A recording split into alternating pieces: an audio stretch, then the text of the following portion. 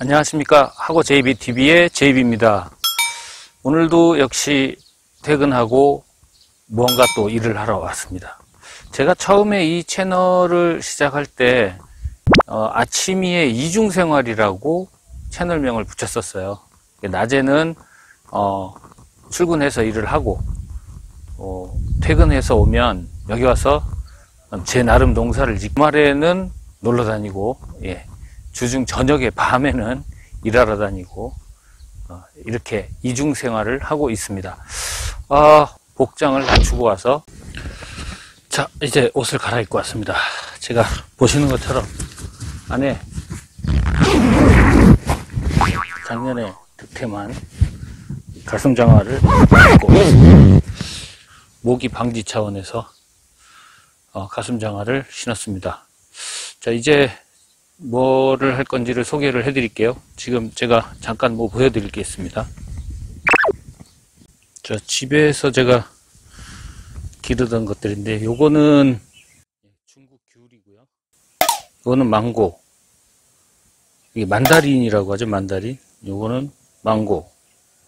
망고 두 개 키웠고요. 그 다음에 요거는 제가 그 자몽을 먹고 씨를 심어서 이만큼 키워놨습니다.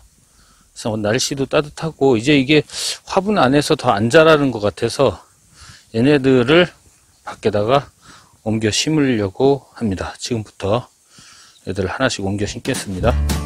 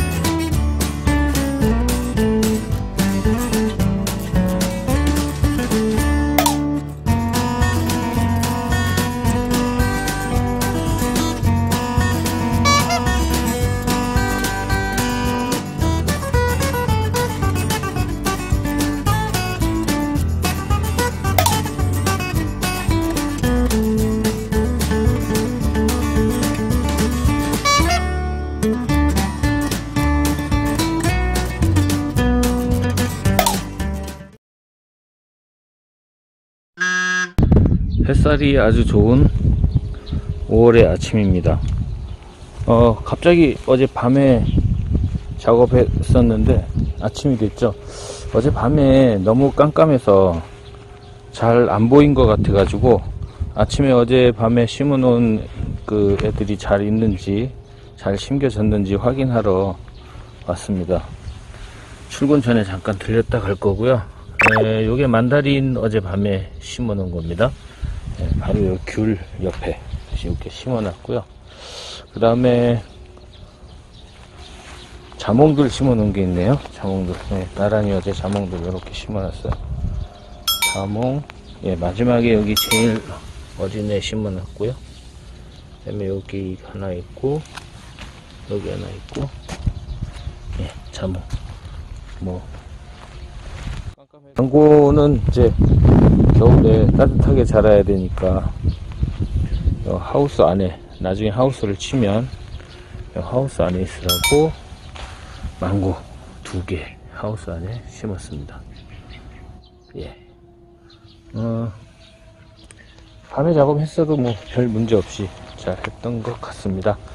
그러면 저는 다음 시간에 다시 뵙도록 하겠습니다. 안녕히 계세요.